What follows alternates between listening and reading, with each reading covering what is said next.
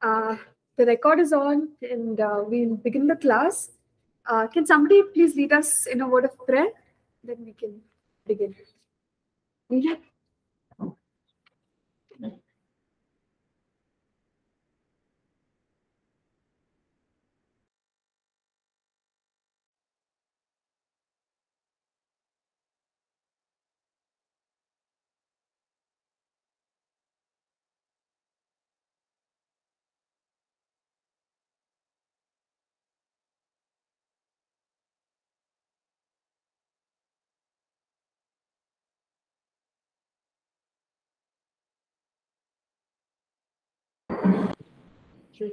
Uh, thank you, Nina, for leading us in prayer.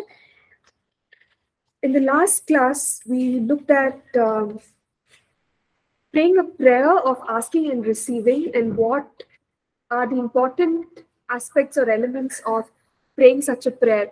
We said that one needs to know what they are asking for, one needs to be aware that um, what they are asking for is part of God's will. Then it becomes a lot easier for us to approach God and to ask in confidence. Then, you know, we uh, also pointed out that uh, we've got to have a strong desire to receive that request, uh, and there is also persevering in prayer. So it's not like every prayer of asking and receiving uh, is, is something that will come through right away. So there can be certain prayers which we will have to wait upon the Lord for. For example, you know, I shared with you when we pray corporately or as a community, we pray for revival, we pray for certain changes. Uh, it might take some time before we actually see the results or the outcome of such prayers. So today, what we'll do is we will learn about a pattern for personal prayer, a pattern for personal prayer. We've um, talked about the importance of the practice of prayer in one's life, uh, and we looked at different categories. There are so many types of prayers that we uh, can, you know, come to God with.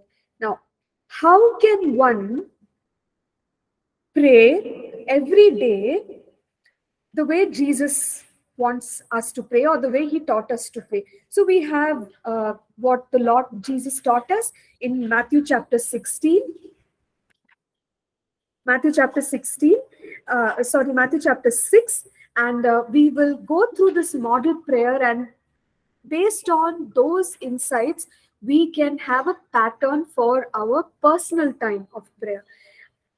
Do is it necessary to have a personal a pattern for a personal time of prayer? What is your opinion?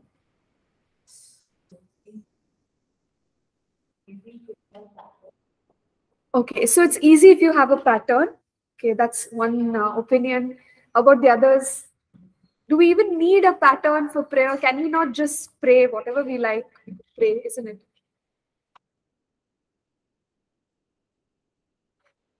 Sometimes Okay, so we might miss asking for some important things. Okay, yes, makes sense. So it's better if we know what are all those prayer requests. Okay, so the majority um, answer here seems to be that it's good to have a pattern. Now, there are many different patterns people use. You may have come across some patterns which were taught to you no harm. You can follow any pattern that you like. Uh, there is a pattern, people say acts. Maybe you heard about it. A C uh, A C T S. So basically, each of those words, each of those letters stands for something. A stands for adoration. C stands for confession. Um, T stands for thanksgiving, and S stands for supplication. So remember, we said different kinds of prayers. So all those prayers are included in that one pattern. So it's helpful. When you start your prayer, you adore God, you worship God. Then you, uh, you know, go ahead and get right with God. As Jesus said, you have to pray for forgiveness. So we ask God for forgiveness, then thanksgiving, and finally go ahead and ask God for you know different needs that we may have. So that acts is a common pattern which many people use. Mm, people also have something known as the tabernacle pattern of prayer. Have you heard that? Tabernacle. So basically, when you look at the tabernacle, it has an outer court, it has the inner um, know, inner uh, court, and then you have the holy, the innermost chamber, which is the holy of holies, where the presence of God dwells. So what some people say is the way you get into the tabernacle from the outside to the inside. Outside, people will wash. There's a laver of washing. So you need to clean yourself. You need to cleanse yourself. So then there is repentance. There's all of those things that you would uh, do. Then go a little more further in. So your prayers will be more of you know adoration, worship, till you come to a place in your prayer where uh, you know it's you're encountering the presence of God, you know, where things are happening in the presence of God. So that is deep inside uh, the tabernacle. So some people use that tabernacle pattern of prayer. Um, so it's fine. You know if, if you uh, try to use any one of these patterns as long as you've had your time of prayer. So what is the advantage of having a pattern for our personal prayer? One thing is our mind will not wander. At least we know that i must uh, cover all these points. And if let's say we are led in our spirits i want to pray for one hour then you know, okay, I will spend 10 minutes on a certain matter, another 10 minutes on a different matter, and in this way, cover that one hour of prayer. Otherwise, what happens? Very random. You just pray anything, anything, nowhere. You're going nowhere. So it's good to develop a certain pattern. After talking about all these patterns, you know, we might have the question, which is the best pattern that I can use for my prayer? The same way, the disciples of Jesus in Matthew chapter 6, they went and asked him, Lord, teach us how to pray. Then he talked to them and he said, When you pray, pray like this, or use this pattern when you pray. So we are all familiar with the, we call it the Lord's Prayer. But some people say, you know, you should actually call it the the disciples' prayer because they are they were the ones who needed to use this and apply this in their prayer lives. So whichever way you look at it, it's a beautiful um, structure that will help us accommodate you know, most of our primary uh, things that we want to bring before the Lord. So how does this prayer go? Matthew 16 verses, uh, I know why I'm saying Matthew 16, Matthew 6, Matthew 6 verses 9 to 13. Uh, Jesus said, in this manner, therefore, pray, our Father in heaven, hallowed be your name. Your kingdom come. Your will be done on earth as it is in heaven. Give us this day our daily bread and forgive us our debts as we forgive our debtors. And do not lead us into temptation, but deliver us from the evil one. For yours is the kingdom and the power and the glory forever. Amen. So, Jesus gave this prayer and said, Pray like this. The next question which arises is since we have this prayer given to us, most of us we are taught this prayer in our family, in our church, in our school, and um, it becomes a common practice to repeat it, isn't it? So, okay, everyone say the Lord's Prayer, the whole group will go, Our Father who art in heaven, hallowed be thy name. So, there is nothing wrong because we are approaching God in the way we have been taught by Jesus. But it's possible to say the prayer and not mean it. That would not be correct. As long as we say the prayer and we mean it, then it's useful. So, the way we look at the Lord's Prayer is look at it like a pattern don't look at it like something to memorize and repeat. In the very lines that Jesus gave us, there are categories that we can pick and pray. So, Matthew 6 9, he began this way. He said, Therefore, pray, Our Father in heaven, hallowed be your name. Okay, so what does it mean? Jesus introduced a very new way of praying. Till that time, people believed in Jehovah God, and uh, Jehovah God for them was a figure whom they uh, feared, a figure whom they were in awe of. So no one ever dared to call God their father. But what did Jesus do? He said, pray to God with a relationship in mind. He was the first person, in fact, you know, who started saying, Our Father. And we know that people opposed him. They said, Oh, this is blasphemy. How can this man call God his father? That was one of the accusations against Jesus. So here is what Jesus was actually saying. He was saying, when we come to God in prayer, don't come like, um, okay, God, this is a duty or this is an obligation. You told me to pray, I'm praying. No, it's based on relationship. So the very first few words there are our Father. Isn't it beautiful? So when I come in personal prayer, it's based on my relationship with God. Okay, that is the first thing. Um, and you know, you could also say, he says, our Father. Our Father means that though it is a time in personal prayer, I recognize that I am a part of a larger body of believers. So it's a personal prayer, but it's not necessarily like, you know, I'm an individual and it's just about God and me, but you recognize that you are a part of the body of believers. So, relationship, part of a body of believers, and the first aspect here, hallowed be your name. So, this is what Jesus wanted us to do. He wanted us to adore and acknowledge the greatness and the goodness of God. Hallowed be your name. Hallowed be your name is like saying, God, I praise you. God, um, I know who you are. Hallowed be your name or the person. You are Jehovah Shalom. You are Jehovah Nissi. You are, uh, you know, Jehovah Jireh. So for the person of God, I take some time to worship and adore Him. So maybe this might look like you begin your prayer and the first 10 minutes, you're doing nothing but praising God. So the category of prayers of thanksgiving, isn't it? So you just pray, praise, you thank, you worship, you adore, you magnify God. Okay, so that's the way in which our prayer should start. Now, for many of us, we just want to go straight with our request. Heavenly Father, you know, uh, I want you to bless me. I want you to bless my family. And I want you to do all these things for me. So we go straight into what is known as petitioning or supplication. But that's not the way Jesus taught us to pray. He said, you start with adoration. Acknowledge God for who He is first.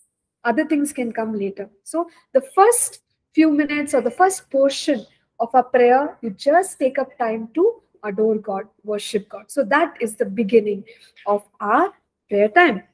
Moving on. Matthew 6 9. Jesus said, Your kingdom come your will be done on earth as it is in heaven. So, what is Jesus telling us? Your kingdom come. What is the kingdom of God? When we study about the kingdom of God in the New Testament, Jesus had a lot to say about the kingdom of God. But in a nutshell, the kingdom of God is the rule and reign of God, where God's authority is seen, where God's authority is prevalent. When we look at heaven, heaven is a place where God's rule and reign exists without any interference. On the earth, definitely we have an enemy. Satan is an enemy, and there is an interference from the enemy. But in heaven, what happens? there's no interference, right? That's why we read there's no sickness in heaven, there's no pain in heaven, there's no tears in heaven, right? There's only joy, there's health, there's uh, uh, peace. All of what God has to offer for us is available up in heaven because there's no interference of sin or Satan. So, what did he teach us in this line? He said, Your kingdom come, your will be done on earth as it is in heaven. So, what Jesus wanted us to pray is we have to pray, God, the way your rule, your reign, your authority uh, is in heaven, let it come down. Let it come down where? Now, we can take time to pray for every uh, sphere that we are a part of. So I can pray for my personal life and say, God, you know, let your kingdom come in my heart. Let your rule, let your dominion, let your authority come in my heart, in my life. Now, I may want to break that up further and say, God, let it come in my personal decisions. Let it come in my ministry decisions. Lord, let it come uh, in my, excuse me, family decisions. Right? So I begin to ask for the kingdom of God, his rule, reign, dominion, authority to be seen in me personally. Now, from there, I might also want to pray for other spheres that concern me. I could pray for my church, and I can say, Lord, you said in your word, Thy kingdom come, Thy will be done. Where uh, the enemy is is causing um, you know he wants to come in in different ways. We say no. Let your kingdom come. Let your rule reign authority dominion let it come in my church family. Then in the same way you could pray uh, you know pray it over the lives of people who are in your life. So we will see later that god gives us a certain direct influence over the family members who we are attached to so we can pray it over their lives. Particularly, if you're a married person, you can pray it over your spouse. And you can say, God, let your rule, reign, dominion, authority, let it come in the life of my spouse, or let it come in the life of my children. So, in this way, you can take the next section of your prayer time to just ask for this. You may be led by God to pray a little more in detail. So, when we say, Your kingdom come, it's very broad. Maybe when you are praying for yourself, you know, if you're a person who's struggling with anxiety, God may lead you to pray more for the peace of God to rule and reign in your heart because that is what His kingdom looks like on earth as it is in heaven. So, Lord, in my life, let your peace rule and reign. Or you might think about your spouse, they're going through depression or some worry, and uh, you might pray for them and say, God, let your joy, you know, be their strength. So what are you doing? You're declaring what is part of heaven in their lives. So that is what this whole part means. Thy kingdom come means God's dominion in what concerns me and everything that is attached to me. Okay, so we take time to pray for these matters. What next? Verse 10 here. Okay, we, we covered verse 10, I think so. So what we read just now is verses 9 and 10. So coming to verse 11, says, Give us this day our daily bread. So now finally, you know, the part that we usually pray first, Jesus has put it somewhere in between. This is the part where we ask for our needs. Now, is it wrong to ask God for our needs? No, sure. Are you sure? Okay, it's not at all wrong to ask God for our needs because we began by saying, Our Father, Heavenly Father. So, a father is somebody who will provide for us. And so, we're saying, God, I have needs. Now, these needs could be, uh, we know that God wants the wholeness of our spirit, soul, and body, isn't it? So we're quite clear on that. So these needs could pertain to you know our spiritual person. They could be uh, regarding our uh, emotional person our soul part of us or it could even be our body. So you know we need things. We need um, uh, uh you know opportunities. We need so many things in our everyday life. So it's okay to bring it to the lord and say god these are my needs I know that you will provide for me. Because Jesus himself told us, he said, you ask God, give us this day our daily bread. And another important thing that you note here is, give us this day our daily bread. So, which means to say that every day we have to rely on God for our needs to be met. Right? And God is faithful. He is faithful to give us what we need, provide in abundance for each and every one of our needs. So never feel shy or never feel um, embarrassed to have ask God for needs. It's okay. Bring your need to the Lord. Be very specific. I know that you know. Uh, I mentioned the other day when we talked about mm, uh, the prayer of asking and big. Right? There are uh, uh, different stories, testimonies that people share. So I, I, remember reading this one book, The Fourth Dimension, by Yonggi Cho. There he writes how he prayed for a cycle because he needed a cycle for his ministry to go house to house and you know uh, uh, uh, talk to people, meet people, pray with them. He did not have it, and you know uh, for us it seems like what is this need? You're asking for a cycle but for him, it was important. But he talks about how God really taught him about the prayer of asking and receiving when he prayed for his need and a ministry need at that. So, in the same way, whatever be your need, bring it before the Lord and ask Him for that. And God is a God who will provide.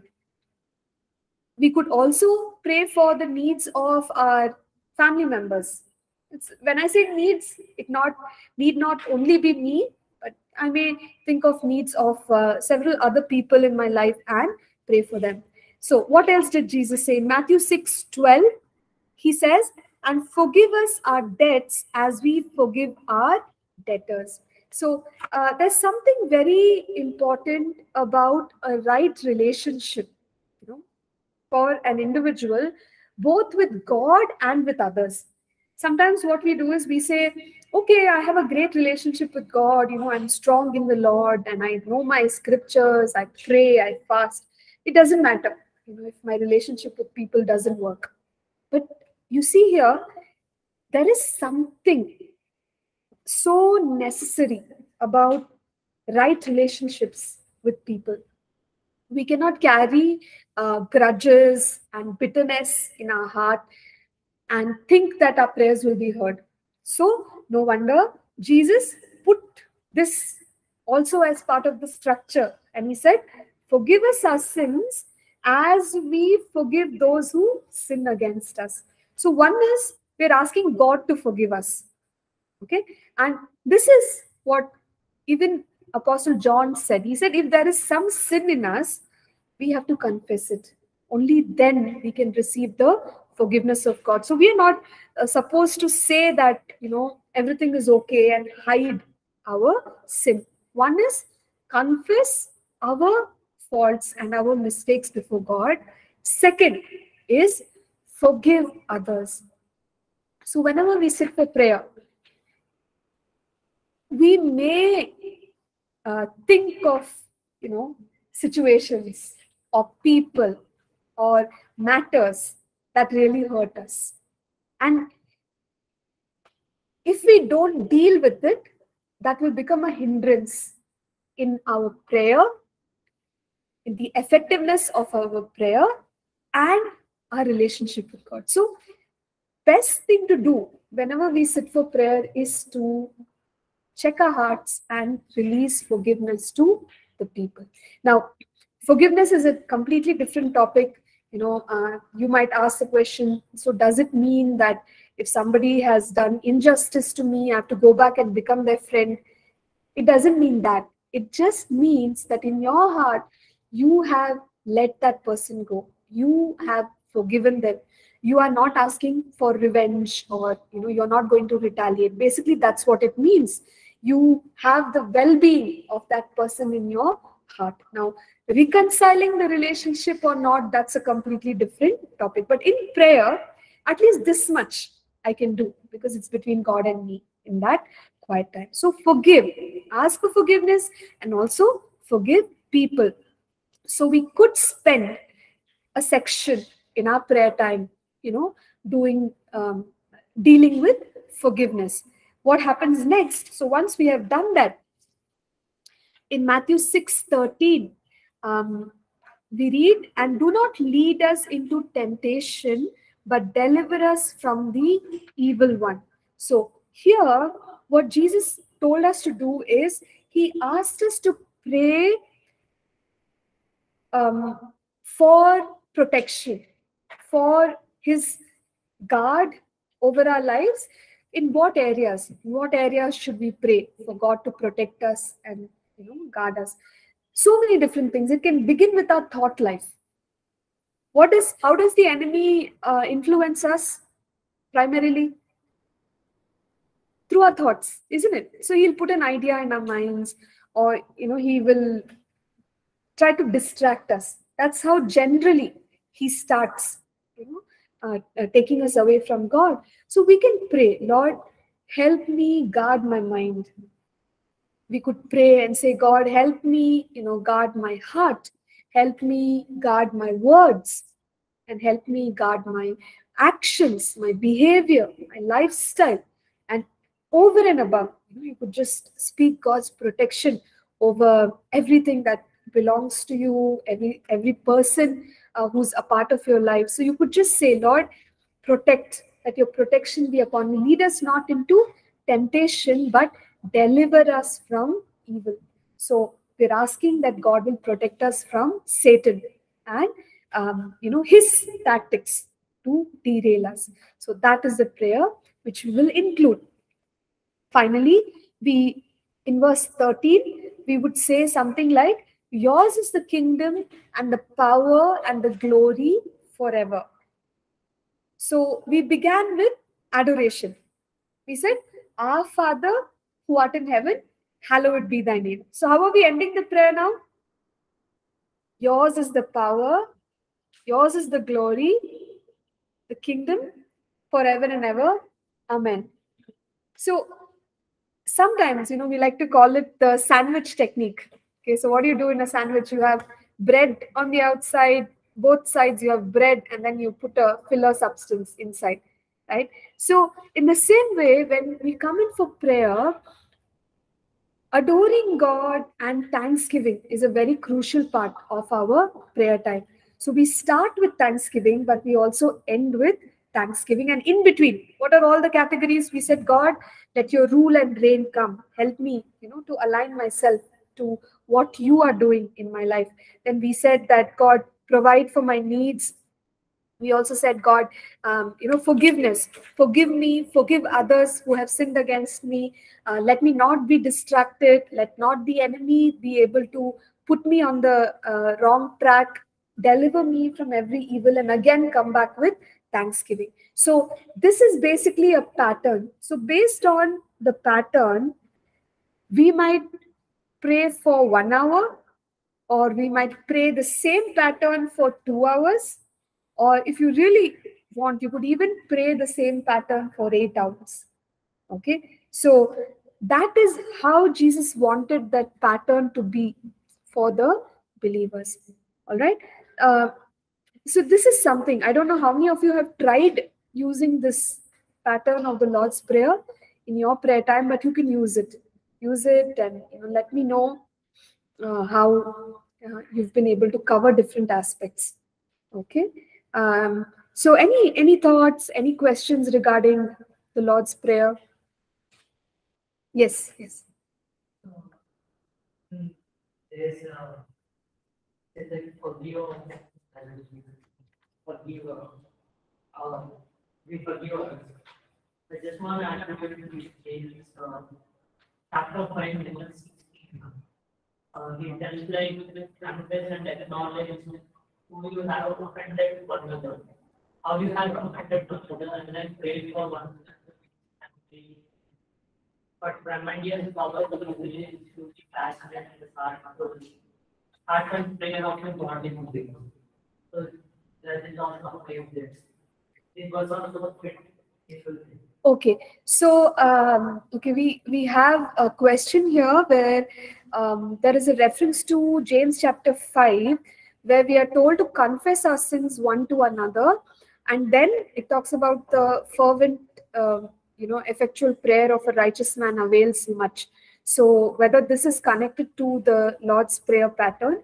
So I would say yes, because in that initial portion, it asks us to deal with our unforgiveness. Okay. So once we deal with the unforgiveness, then it talks about the effective prayer of a righteous person.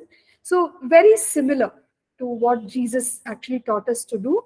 Um, however, if you are asking whether every time we have to confess our sins to others, you know, if,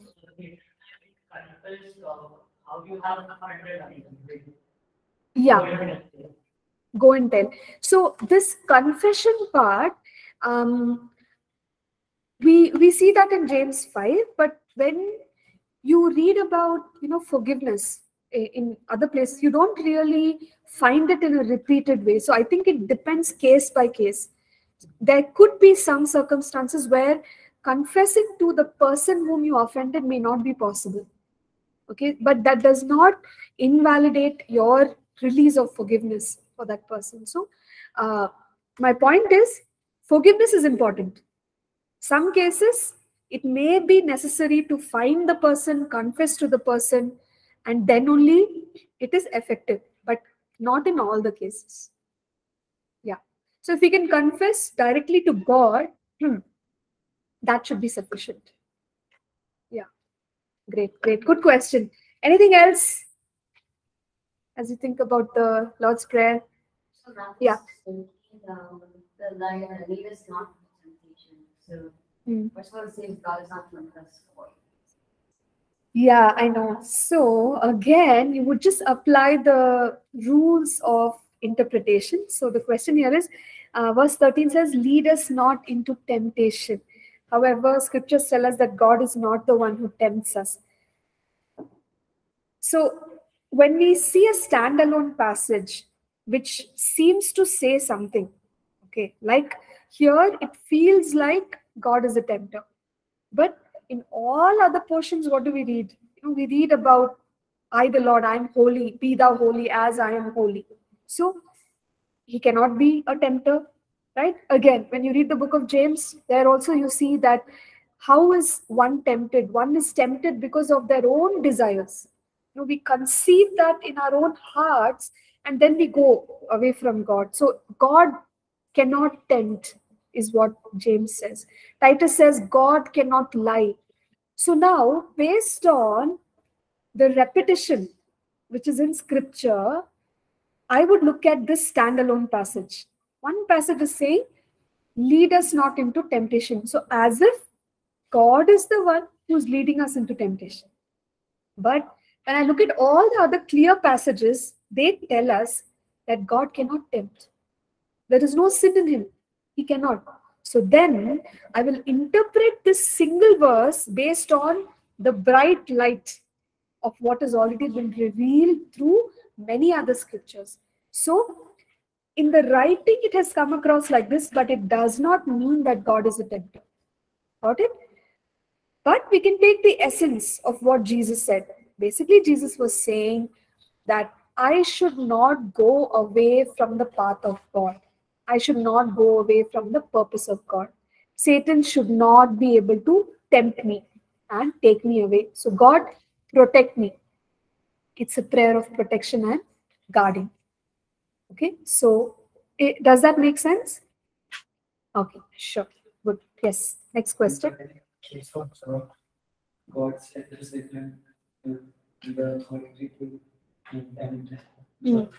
Mm. Okay, so see again, no.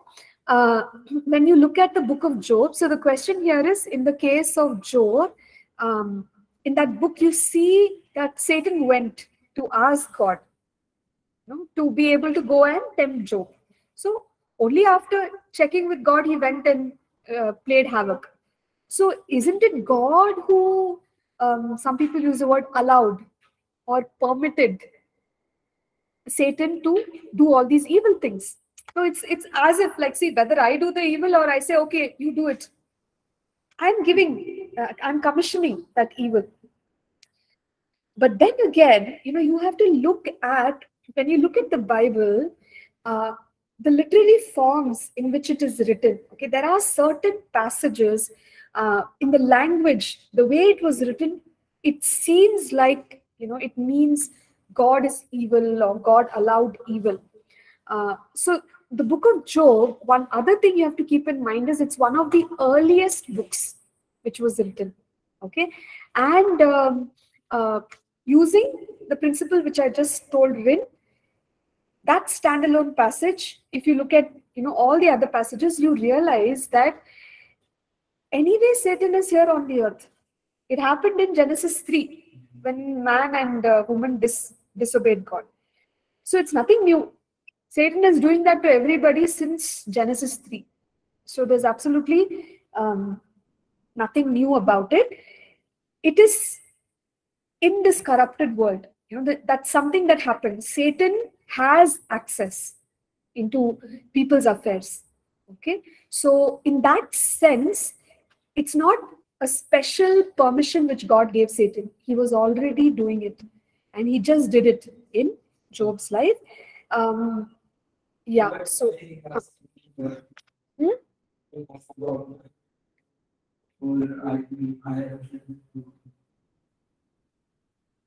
Yeah. correct. that's what i'm saying see if you if you look at what the bible says sin has already corrupted the world the first time eve sinned satan already began doing evil things in people's lives so it was nothing new no he tempted cain uh, he tempted uh, you know um, different people esau he tempted so many different people so job was one of them so it was just a part of what he does. So it was not like something special that God commissioned the devil to do. So that's what I'm saying. Does it make sense? Or Vimal, are you convinced or not really? Okay. Yes, please go ahead. Can you give the uh,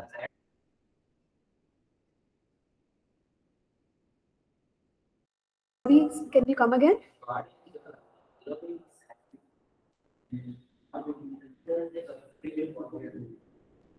Okay.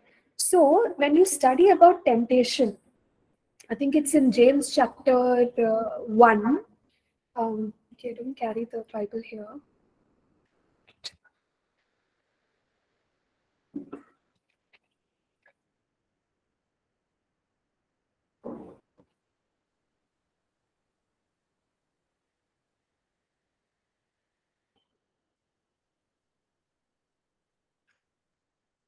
So I'll just read out a portion for you, and that should give you the answer. The question asked is uh, temptation. Is it is it from within us, or is it something from God?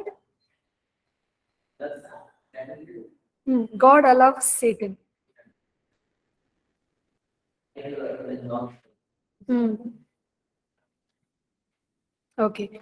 So, uh, James chapter 1, uh, we will read from verse 13. It says, When tempted, no one should say, God is tempting me. For God cannot be tempted by evil, nor does he tempt anyone. But each person is tempted when they are dragged away by their own evil desire and enticed. Then, after desire has conceived, it gives birth to sin, and sin, when it is full grown, gives birth to. So basically, it is whether a temptation comes to us or not, that we cannot avoid. Everybody is tempted, even Jesus was tempted, right? But how you respond to temptation is personal responsibility. That's what this passage is saying. How does temptation happen? But each person is tempted when they are dragged away by their own evil desire and enticed. Basically, we are saying, okay, temptation has come, I'm agreeing with the temptation, and I'm moving in that direction. Then sin happens. Okay, but so God is not responsible. Just by virtue of the fact that we are living here in the world, temptations are there. The way, you know, Job uh, was treated by Satan, that's the way Satan treats everybody.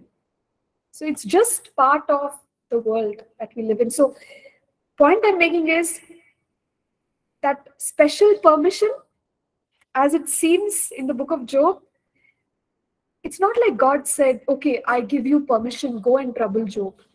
No, we are all in the world, so was Job. By default, it happened. Right? So that's how it is. We can't blame God and say, you know, if you go to, um, you know, if you go to a pool, a swimming pool, and if we get wet, it's not it's not the fault of the person who owns the pool. He would say, you knew that when you before you came into the you know the swimming pool area. It was your decision to put your feet inside the water. If you got wet, it's not my fault. I didn't give permission to make you wet. So by default, when we are here in the world, temptations happen, attacks of the evil one happen, these things happen. They are, uh, in, in a sense, unavoidable. And we should never say that God permitted it, God allowed it, because it looks like, specially, it's being done, whereas that's not really the case. Okay, so uh, I am going to um, wrap off this call, wrap up this call, and um, we shall meet after 10 minutes, online students. Uh, and uh, yeah, if you have any questions, please to come back with them. Thank you.